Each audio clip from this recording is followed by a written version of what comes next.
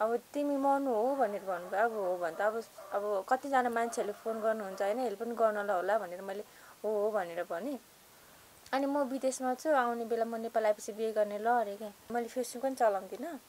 अश्लील भिडियो आफ्नै अश्लील भिडियोहरू मलाई जुन सेन्ड गर्न थालेँ दुई तिनजनाले नै म तिमीलाई साथ दिन्छु। मनको जस्तै केयर गर्थेँ मैले पनि त्यस्तो त्यस्तो भनेको थिएँ। मेरो सोच चाहिँ त्यो मात्र आयो कि म चाहिँ उहाँलाई नै बसिहालेर बस्छु उहाँसँगै बस्छु जीवन बिताउँछु भनेर सोच आयो। त्यतिखेर चाहिँ मैले साथी पनि आएको थिएँ अनि म त्यो साथीसँगै काम गरेर बस्छु भनेर नि अनुहारमै हेर्न सकिनँ त्यो बेला नि म घोप्टेर बसिरहेको थिएँ। अनि त्यतिखेर चाहिँ आमाहरू अब रिसाको सिरमा अब के के भन्नुभयो होइन छोरी होइन यहाँ त्यहाँ एकदम मलाई त धेरै गाह्रो सिचुएसन पारेको थियो मान्छेहरूले। सपना सुनार सपना सुनार त्यस्तै थिएन सपना सुनार सपना सुनार भन्ने आइडीबाट चाहिँ सुरुमा आयो भने त्यसै हाल्यो भने के छ ठिकै छु।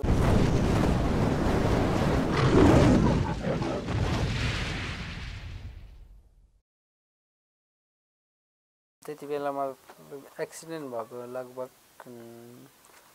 एक डेढ वर्ष नै भएको थियो। म स्पाइनल इन्जुरी बसेपछि रुम खोजेर बसेँ रुम खोजेर बस्ने क्रममा नि म मोबाइल चलाउन थालेँ। जसो जसो पनि यादहरूले औँलाहरूले नसके पनि जसरी पनि मोबाइल चलाउन थालेँ मोबाइल चलाउने क्रममा म स्मुल ग्रुपमा गीत गाउँथेँ। स्मुल ग्रुपमा गीत गाइरहेको थिएँ अनि फेसबुक चलाइरहेको थिएँ त्यति बेला रिक्वेस्ट आएको थियो। उसको रिक्वेस्ट आयो अनि रिक्वेस्ट आएपछि मैले एक्सेप्ट गरेँ। एक्सेप्ट गर्ने बित्तिकै उसले आयो भने मैले हाल्यो भने अनि के छ भन्दाखेरि त्यस्तै मेरो अवस्था यस्तै छ। म मर्ने मर्ने अवस्था त्यस्तै त्यस्तै कुरा गर्थेँ अनि एकदम उसले पनि नम्बर दिनुहोस् म हजुरसँग फोनमा कुरा गर्छु भने नम्बर दिएँ। नम्बर दिएपछि म त्यस्तै जिस्किने मान्छे अवस्था जस्तो हो नि जिस्किँदै बोलिरहेको थिएँ आफ्नो पीडा पनि बोलिन्थ्यो जिस्किँदै बोलिरहेको थिएँ त्यस्तो बोल्दै बोल्दै नजिक हुँदै गयौँ अनि स्मुलको रूपमा जाने भनेर उसलाई पनि लगेँ। गएपछि त्यहाँ त्यस ग्रुपमा झन्डै एक दुई महिना बसेँ। एक दुई महिना बसेपछि अनि उनी पनि ग्रुपबाट निस्किन् अनि म पनि त्यहाँबाट यहाँ सर्ने भएपछि ग्रुपबाट निस्केँ नेट नचल्ने भएकोले अनि त्यसपछि झन् नजिक बोल्दै गयौँ नजिक हुँदै गयौँ। अनि हामी चैतमा चैतको अन्त्य भन्दा वैशाखमा भेट भएको मसँग हुँदाखेरि। छैत्र साले भनौँ नयाँ वर्षतिर भेट भएको। उनीसँग नजिक हुँदै गएपछि एक दुई महिना बोलियो दुई महिना बोलिएपछि वैशाख जेठ असारमा उनी भेट्न आइन् एक हप्ता बसिन् मैले भने म तिमीलाई साथ दिन्छु भनेपछि हुन्छ मलाई मेरो अवस्था हेर। मेरो अवस्था हेरेर एक हप्ता बस। अनि मेरो अवस्था के गर्नुपर्छ अनि सब बुझेपछि अनि तिमी तिमी आफै डिसिजन गर भनेपछि हुन्छ अब भनेपछि असारमा असारमा आइन्। असारमा होइन साउनको अन्तिम अन्तिमतिर आइन् र एक हप्ता बस्यौँ अनि जाऊ अब तिमी जाऊ अनि तिम्रो मोड के हुन्छ तिम्रो डिसिजन के हो अनि सोचेर आऊ भनेपछि अनि घर गएपछि दुई चार दिन उनले सोचिन् होइन म हजुरलाई नै साथ दिन्छु भनेर निर्णय गरेँ। हुन्छ मैले पनि सुख दुःख अब सुख पऱ्यो नि दुःख पऱ्यो नि सँगै हेरौँला हो भनेपछि उनी मेरो असारको छ गति बर्थडे थियो। अनि चाहिँ पाँच गति आएँ सरप्राइज अनि खासै माया कसरी पलायो?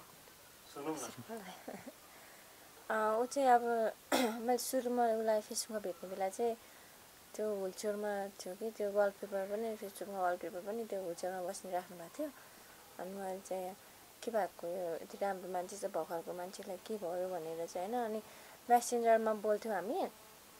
अनि बोलिसकेपछि अनि मेसेन्जरमा बोल्दाखेरि पनि के छ भन्दाखेरि मर्न लागेको आकाशमा जानु लाग्यो के के के के त्यस्तै भन्नुहुन्थ्यो क्या। अहिले पनि त्यस्तो त बानी नै भइसकेको छ। बोलिरहनुहुन्थ्यो त्यस्तो चाहिँ। त्यस्तो बोल्नुहुन्थ्यो अनि मलाई चाहिँ त्यस्तो मन पर्दैन थियो। अनि मैले उहाँको नम्बर मागेँ नम्बरमा हामी कुरा गर्थ्यौँ। गीत पनि गाउँथ्यौँ हामी। मोबाइलमै यत्तिकै यत्तिकै फोन गर्दाखेरि पनि गीत गाएरै सुनाइरहन्थ्यौँ। अनि त्यस्तो हुँदा हुँदै अनि हामी स्कुल ग्रुपमा गयौँ। स्कुल स्कुल ग्रुपमा गइसकेपछि चाहिँ झन् झन् नजिक भयो भनौँ न कुरा गर्न पाएँ त्यहाँनिर धेरैजना मान्छेहरू हुन्थ्यो उहाँहरूसँग पनि कुरा गर्नु पायो गीत गाउनु पाउँथ्यो एकदमै रमाइलो हुन्थ्यो। अनि अब हामी त्यो मान्छेहरूको ग्रुपमा भन्दा पनि हामी फेरि अर्कै उयसमा जान्थ्यौँ त्यहीँ कुरा गर्नलाई। जुन हुन्छ नि के भन्छ?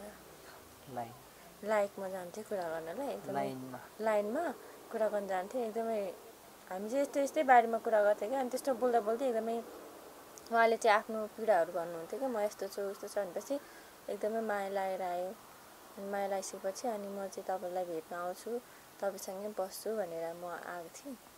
अनि आइसकेपछि म आएर पनि यहाँ यहीँ हुँदाखेरि आएँ यहीँ रुममा। अनि आइसकेपछि चाहिँ अनि अनि उहाँ चाहिँ यतापट्टि बसिरहनु भएको थियो। यस्तो बेड चाहिँ त्यहाँनिर बसिरहनु भएको थियो। अनि आउँदाखेरि पनि उहाँको पुरै भनौँ न कस्तो अर्कै देखेर आएको क्या त्यो मुखहरू नै त्यो दुख्लो पाराको अर- कस्तो न्याउरे त्यस्तो देखिरहेको थियो कि एकदमै माया बेला पनि अनुहारमै हेर्न सकिनँ त्यो बेला पनि म घोप्टेर बसिरहेको थिएँ।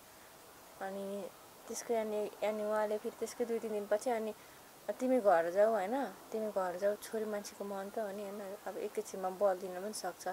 अनि यस्तो दुःख भोग्नुपर्छ तिमीले देखिहाल्यौ मलाई कसरी स्याहार्नुपर्छ भनेर भनेर भन्नुभयो अनि अनि म पनि एक हप्ता बसेर अनि गएँ घर गइसकेपछि अनि एकदमै घर गएर पनि अब हुन्छ नि अब त्यस्तो म जाँदिनँ यस्तो रहेछ उस्तो रहेछ भन्ने सोचै मलाई आएन त्यस्तो त।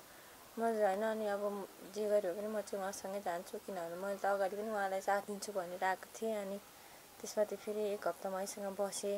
उहाँलाई के गर्नुपर्छ कस्तो गर्नुपर्छ भन्ने सबै कुरा पनि सिकेँ पनि बुझेँ पनि अनि त्यस्तो भइसकेपछि अनि गाउँमा गइसकेपछि अनि अब म आउँदिनँ यस्तो रहेछ मान्छे नै यस्तो रहेछ उस्तो रहेछ भन्ने त्यस्तो मलाई सोचै आएन अनि मेरो सोच चाहिँ त्यो मात्रै आयो कि म चाहिँ उहाँलाई नै बसी हालेर बस्छु उहाँसँगै बस्छु जीवन बिताउँछु भन्ने सोच आयो।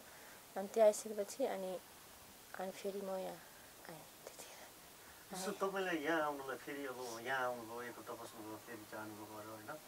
यहाँ आउनुभयो। घर परिवारले चाहिँ तपाईँलाई रोकेन? तपाईँहरूको त अन्तर्जातीय विवाह भनौँ न अन्तर्जातीय विवाहहरू त तपाईँहरू जीवनसँगै बितायो भयो भने तपाईँहरूको त होइन अब समाजले अहिले पनि अलिकति चाहिँ जातीय विभेद गर्ने हुन्छ घरमा त्यस्तो अप्ठ्यारो के भयो? त्यतिखेर चाहिँ मैले साथी पनि आएको थिएँ अनि म त्यो साथीसँगै काम गरेर बस्छु भनेर नि अनि आएको थिएँ। अनि त्यसको एक दुई दिनपछि चाहिँ अनि भाउजूलाई सुनाएँ भनेपछि तपाईँ यहाँ आउने बेलामा लुसुक्क आउनुभयो? नै? सुरुमा। साथीलाई अनि सुरुमा साथीले लिएर आइन् साथीसँगै आइन् काठमाडौँ बस्ने साथीसँगै आइन्। उता साथी वहीँ गएको रहेछ अनि साथीसँग बाबा मम्मीले हुन्छ साथीसँग जाऊ भनेर पठाउनु भयो अनि साथीसँगै आइन् साथीसँगै आएपछि अनि एक हप्ता बसिन् साथी चाहिँ भक्तपुर कता त्यतै भन्दै थियो अनि एक हप्ता बसेपछि उनी मैले पठाइन् एक हप्तापछि अनि त्यसपछि गएर आउँदाखेरि चाहिँ होइन मलाई साथीले जागिर खोजिदिएको छ अरे। अनि त्यहीँ जान्छु म भनेर त्यही आमाले भन्नुभएको थियो पछि भनेपछि घरबाट झुट बोलेर विक्रम थिइन् हजुर हजुर अनि अनि अनि? त्यसको दुई तिन दिनपछि होइन कि चार पाँचमा चार पाँच दिनपछि चाहिँ अनि दाइले पनि बिहे गर्नुभएको थियो। त्यही बेला नै दाइ विदेशबाट आउने बेला अनि यहाँ भाउजू कापडेबाट लिएर जानुभएको थियो। अनि त्यतिखेर म त्यतिखेर चाहिँ भाउजूसित सबै कुराहरू हुन्थ्यो। अनि भाउजूलाई भनिसकेपछि अनि आमाहरूलाई भाउजूले सबै सुनाइदिनु भएछ। अनि त्यतिखेर चाहिँ आमाहरू अब रिसाको सिरमा अब के के भन्नुभयो होइन? छोरी होइन यहाँ त्यहाँ के के भन्नुभयो? अब त्यस्तो त भनि नै हाल्नुहुन्छ होइन। जसको पनि आमाले त्यस्तो भन्नुभयो। अनि त्यसो भनेपछि अनि मैले पनि ए होस् अब अब म आमाले यस्तो भन्नुभयो कि अब म कहिले पनि बोल्दिनँ तँसित तेरो आमा पनि होइन म भनेर भन्नुभयो मैले पनि केही गरिनँ। मैले पनि मोबाइल अब फोन गरेर करा कराइ गर्नुहुन्थ्यो। अनि मैले ब्लक लिस्टमा राखिदिएको थिएँ आमाको नम्बर। अनि त्यसको फेरि एक महिनापछि आमा आफैले फोन गर्नुभयो। अहिले त भनौँ न एकदम खुसी हुनुहुन्छ। हजुर एकदम बोल्नुहुन्छ। बुवाहरू सबैजना खुसी हुनुहुन्छ तर दाईहरू चाहिँ अहिले बिहे गरेर छुट्टिएर बस्नु भएको छ अनि एकदमै भनौँ न आमाहरूलाई गाह्रो बनाइदिएर छुट्टिनु भएको छ। ए भनेपछि यता तिम्रो कारणले पनि आमाहरूलाई। मैले मेरो कारणले भन्दा पनि त्यही त बाह्र छोरा तेह्र जाति बुढाको दोक्रो काँधैमाथि भने चाहिँ उहाँहरू चाहिँ बिहे गरेपछि छुट्टिनु भएको अरे ए ओके त्यस कारणले गर्दा बुवा मम्मी एक्लै हुनुहुन्छ। हजुर। बुवामा पनि दुइटा भाइ छ सानसानो। बहिनी छिन्छानी के छ मनु अब जस्तो तपाईँले विक्रमलाई होइन अँ, स्वीकार्नु भयो भन्न खोजेको चाहिँ विक्रमलाई आफ्नो जीवन साथीको रूपमा चाहिँ नि आफ्नो जीवनसँगै हिँडाउनको लागि सँगै राख्नुभयो होइन एउटा हिसाबले। अब उता मम्मी बुवाको पनि अवस्था भाइको नि सब भाइहरू साना छन्। जीवनमा विक्रमसँगै फेरि बाबा मलाई पनि माफेले पाल्नुपर्छ कि भन्ने खालको हुन्थ्यो। त्यस्तो त त्यस्तो सोचेको छुइनँ दाई अर्को भाइ पनि छ दिदी पनि हुनुहुन्छ इन्डियामा काम गर्छन् अनि भाइले पनि अस्ति भर्खर बिहे गरेछन्। बुहारी लिएर इन्डियामा गएछ। अनि उनीहरू तिनजना दिदी भाइ बुहारी भएर काम गरेर अनि अहिले चाहिँ घरमा खर्च भनौँ न उनीहरूले हजुर। एउटा कुरा सोधेँ मैले सम्झेँ मैले। यो कता कता मैले पनि बतास चलेको थाहा पाएको थिएँ। मनु यदि तिमी चाहन्छौ भने म तिमीलाई मा बिहे गर्न चाहन्छु भनेर बिचमा कसैले तपाईँलाई म्यासेज फोन के गर्यो अरे भन्ने सुनेको हो त्यस्तो गरेको थियो। म चाहिँ हामी दुईजनाले एउटै इमो चलाउँछौँ। विक्रमको नम्बरबाट चाहिँ मैले पनि इमो खोलेको छु। अनि उहाँ लेजर थेरापीमा हुँदाखेरि चाहिँ अनि एउटा मान्छे चाहिँ को? अब चिनेको पनि छैन त्यो मान्छेलाई राम्रोसँगले को भन्ने पनि चिनेन। अनि त्यतिखेर चाहिँ अनि अब तिमी मर्नु हो भनेर भन्नुभयो। अब हो भने त अब अब कतिजना मान्छेहरूले फोन गर्नुहुन्छ होइन हेल्प पनि गर्नलाई होला भनेर मैले हो भनेर भनेँ। अनि म विदेशमा छु आउने बेला म नेपाल आएपछि बिहे गर्ने ल अरे क्या त्यस्तो भनिसकेपछि अनि मैले विक्रमलाई पनि देखाइहालेँ नि यो मान्छे कस्तो खालके भनेर भने। देखाइसकेपछि अनि मैले कराएँ पनि त्यसलाई बेसरी कराएँ पनि। अनि नेपाल आउने बेला त प्लेन पड्केर मर भनेर पनि भनिदिएँ होइन?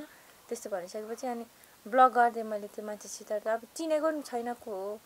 यदि उनीहरूले चिनेर त्यस्तो भन्नुभएको हो कि कि हाम्रो बिचको त्यो सम्बन्धलाई उनीहरूले टुटाउनु खोजेको हो कि के हो? त्यो थाहा छैन होइन? त्यो भगवान् जानु। तर उहाँले चाहिँ जे भन्नुभयो त्यो गलत भन्नुभयो। त मैले ब्लग गरिदिइसकेँ त्यो चाहिँ। तर अब त्यसरी तपाईँलाई त त्यो बाहेक होइन अन्य पनि धेरैले चाहिँ प्रपोज गर्छन् होला कति कुराहरू तपाईँलाई। कति कुराहरू चाहिँ तपाईँलाई गरेको तर विक्रमलाई भन्न नसकेको हुन्छ नि। जस्तो आफ्नो श्रीमानलाई भन्दा रिसाउला चित्त दुखाउला अथवा हुन्छ नि अनावश्यक मान्छेहरूले कति कुराहरू भनेर त्यस्तो कुराहरू तपाईँलाई आएको छैन? नै त्यस्तो त आएको छैन किनभने मैले फेसबुक पनि चलाउँदिनँ। अनि इमो चलाए पनि एउटै हो। अनि दुइटै इमो हामीले फेसबुक पनि इमो पनि अब एउटै। एउटै हो। फेसबुक एउटै हो। मैले उहाँको सबै छैन। छैन। त्यो हेर्दिनँ म छुट्टै नम्बर छैन। पनि छैन। मेरो नम्बर त छैन। अहिलेसम्म मैले कुनै मिडियाहरूमा नम्बरहरू केही दिएको छुइनँ उसको मेरो जुन एउटा स्मार्टको नम्बर छ अनि बाहिर जाँदाखेरि मलाई फोन गर्छन् बाबा मामालाई फोन गर्छन् त्यति। त्यति नै छैन। अब चाहिँ मैले एउटा कुरा सोध्छु नि। विक्रमले तिमीले नम्बर लिनु पाउँदैनौ फेसबुक चलाउनु पाउँदैनौ भनेर दबाबमा राखेको त होइन। नै होइन म त। सबै त नि। छैन त्यस्तो केही पनि आ, मैले हेरिहाल्छु नि उहाँको फेसबुक पनि म आफैले हेर्छु किन विक्रमको कुरा गरौँ न विक्रमलाई त झनै जस्तो विक्रमलाई तिम्रो साथ दिन म आउँछु भनेर भनेको कुराहरू पनि आइरहेको थियो विक्रमलाई चाहिँ कसरी त्यस्तो विक्रम एकदम मलाई त धेरै गाह्रो सिचुएसन पनि पारेको थियो मान्छेहरूले किनकि सुरुमा दुई तिनजनाले नै म तिमीलाई साथ दिन्छु। मनको जस्तै केयर गर्थेँ मैले पनि त्यस्तो त्यस्तो भनेको थिएँ। उसले पनि सँगै हुन्छ एसएमएस हेर्ने सँगै हेर्ने मैले यो लेख उसले यो लेखेर पठायो भनेपछि त्यही लेख्ने नि सल्लाहमै गर्ने हो। त्यस्तो आएको थियो एकजना दुई तिनजनाबाट र एकजना सपना सुनर सपना सुनर त्यस्तै थिएन। सपना सुनर सपना सुनर भन्ने आइडीबाट चाहिँ सुरुमा हाई भने त्यसै हाल्यो भने के छ ठिकै छु भन्यो। ह्याप्पी तिहार पनि भन्यो। त्यसै दुई चार दुई तिन महिनापछि त जुन सपना सुनार सुन सपना सुनार सपना सुनार भने जुन मैले सबै प्रोफाइलहरू पनि हेरेँ। त्यसपछिको अनि आफ्नै प्रोफाइल आफ्नै त्यस्तै अश्लील भिडियो आफ्नै अश्लील भिडियोहरू मलाई जुन सेन्ड गर्न थालेँ। म मनुले को तिमी किन यस्तो सेन्ड गरेको भन्दाखेरि केही नि बोलेन। दुइटासम्म के अस्ति भिडियो सेन्ड सेभ गर्न सेन्ड गरेँ अनि मैले को मान्छे हेर न मनु यस्तो यस्तो भनेको अनि उहाँ उसले चाहिँ को तपाईँ किन यस्तो गर्नुभएको भनेर भन्दाखेरि केही पनि बोलेन र आफै ब्लक गर्यो आफै ब्लक गरेपछि हामीले चाहिँ त्यो उसँग बोलेको त्यो उसको त्यो प्रोफाइलहरू प्रोफाइलको नेमहरू स्क्रिनसुट गऱ्यौँ। अनि त्यो भिडियो चाहिँ सेभ राखेर सिक्रेटमा राख्थ्यौँ र हामी तपाईँलाई यदि आउनु नजिक तपाईँ हामीसँग हामी किन गरेको यस्तो भन्दा आउनुहुन्न भने हामी मिडियामा भनिदिन्छौँ यता फेसबुकतिर अपलोड गरिदिन्छ तपाईँको भिडियो हेरेर। त्यसरी थाहा ब्लक गरेर राखिदिनु भयो। त्यस्तो त्यस्तोसम्म भयो। जस्तो मनो एउटा कुरा सोध्छु है। जस्तो विक्रमप्रति कहिले काहीँ के? यो मान्छेले मलाई पनि ठग्नु खोजिरहेको छ क्या हो कतै मलाई झुक्क्याएर कसैसँग बोला त छैन भनेर तपाईँलाई चाहिँ चिन्ता हुन्छ कि एकदम मनमा आत्मा साँच्ची राखेर भगवान् साँच्ची राखेर।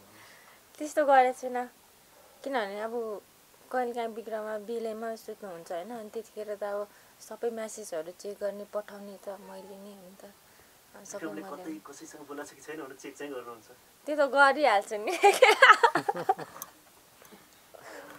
भने त्यस्तो गर्छु होइन कति अब भनौँ न त्यस्तै त्यस्तो किन सपना गरेको सुना जस्तो भन्दाखेरि- मान्छेहरू त्यस्तो भयो भने त अब नराम्रो हुन्छ नि त। त्यही त्यही नै। भएर नि। त्यस्तै उसले किन गरेको भन्दाखेरि धेरै मान्छेले म चाहिँ फेरि कसैलाई पनि नराम्रो भन्न चाहन्न।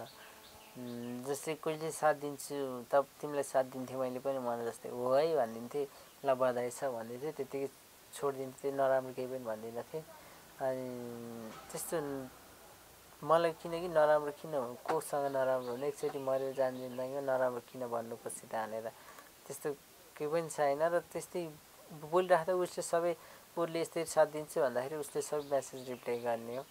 अनि त्यस्तो गर्दा गर्दै पनि मैले नराम्रो भन्दिनँ भन्दा भन्दै पनि जुन त्यो अश्लील आफ्नै होइन अरूको पठाइदिएको होइन आफ्नै अश्लील भिडियो कोसँग फोनमा बोलेको जस्तो गरेर आफ्नै क्यामेरा फर्काएर त्यस्तो भिडियो पठाएपछि शङ्का गर्ने पऱ्यो नि। कतै कि? केही, न केही नजिकको सम्बन्ध नभइकन त यस्तो हुन। सक्दैन। के भयो भनेर मनलाई चिन्ता भएको अहिले होइन? त्यो सपना सुनार भन्नेले चाहिँ त्यस्तो भिडियो पठाइसकेपछि अनि मैले को हो तपाईँ भनेर पनि भनेँ। अनि भनिदिएपछि उहाँले बोल्नु भएन केही पनि भन्नु भएन। अनि मैले भने तपाईँले यस्तो यस्तो भिडियोहरू आफ्नै भिडियोहरू यस्तो नराम्रो पठाउनु भएको छ। के गरी तपाईँ अब के गरी किन यस्तो पठाउनु भयो? तपाईँले चिनेर पठाउनु भएको कि नचिनेर पठाउनु भएको यदि हामीसँग अब कलमा कन्ट्याक्टमा आउनुहुन्छ भने भन्नु होइन भने तपाईँको यो भिडियोहरू सबै हामी युट्युबमा हाम्रो आफ्नै पनि युट्युब छ त्यो युट्युबमा फेसबुकहरूमा सबै तपाईँको साथीहरूलाई ट्याग गरिदिन्छु भनेर भन्दाखेरि चाहिँ उहाँले सुन्नुभएछ त्यो भोइस म्यासेज पठाएको थिएँ मैले सुन्नुभएछ अनि ब्लक गरिदिनु भयो कि अनि। अब हुन्छ नि त्यस्तो भइसकेपछि त अब अब मैले चाहिँ के सोचेँ भन्दाखेरि अब त्यस्तो नराम्रो चाहिँ अब नसोच्नु होला होइन कसैले पनि अब अब कोही मान्छेहरूले त अब चिनेकै भएर अब आफ्नै मान्छे भएर त त्यस्तो भिडियोहरू पठायो होला भने सोचेँ मात्रै होइन। अब अहिले त अब त्यस्तो छैन हामी चिनेको पनि छैन। अब सुनार भनेपछि त नि अब हामी पनि सुनारै भयो। अनि अब चिनेकै होला कि भनेर चाहिँ मैले त्यस्तो गरेको।